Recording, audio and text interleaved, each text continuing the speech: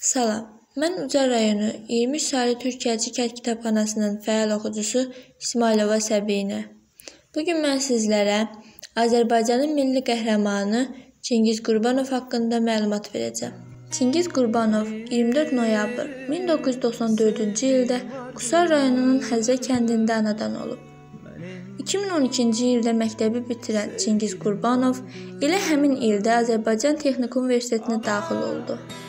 Daha sonra 2016-cı ildə həmin universitetin məzunu olan Çingiz Qurbanov həmin ilin iyul ayında həqiqi hərbi xidmətə yollandı.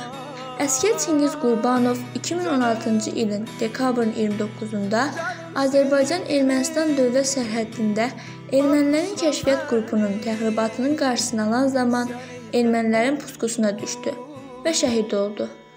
Nəticədə Çingiz Qurbanovun nəşi 3 həftədən artıq erməni tərəfində qaldı.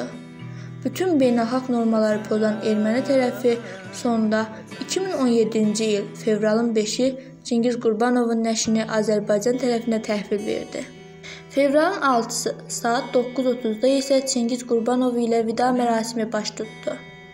Vida mərasiminə Müdafiə naziri general-polkovnik Zakir Həsənov və Baş qərargah rəisi general-polkovnik Nəcməddin Sadıqov, habelə Dövlət Təhlükəsizlik Xidmətinin rəisi general-leytenant Mədəd Quliyev və bir sıra digər rəsmi şəxslər qatıldı. Mərasimdə çıxış edən general-polkovnik Zakir Həsənov Çingiz Qurbanovun qəhrəmanlığından danışıb. Daha sonra Çingiz Qurbanov doğulduğu Qusar şəhərində Şəhidlər Xiyabanına son mənzilə yola salındı.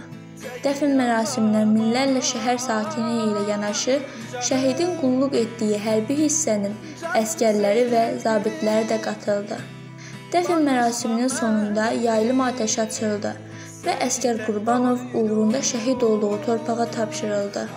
2017-ci ilin 7 fevralında Azərbaycan Respublikası prezidenti və Azərbaycan Silahlı Qüvvələrinin Ali Baş Komandası İlham Əliyevin 1966 nömrəli sərəncamı ilə Azərbaycan Respublikasının ərazi bütövlüyünün qorunub saxlanılmasında xüsusi xidmətlərinə və döyüş tapşırığını yerinə yetirərkən göstərdiyi şəxsi igidliyə görə əskər Çingiz Salmanoğlu Qurbanov ölümündən sonra Azərbaycan milli qəhrəmanı adına layiq görüldü. Fevralın 9-da isə Azərbaycan Respublikası prezidenti İlham Əliyev Çingiz Qurbanovun ailə üzvlərini qəbul etdi. İlham Əliyev qəbulun sonunda şəhidin atası Salman Qurbanova Qızıl Ulduz medalını və Bakı şəhərində yerləşən 3 otaqlı mənzilin orderini təqdim etdi.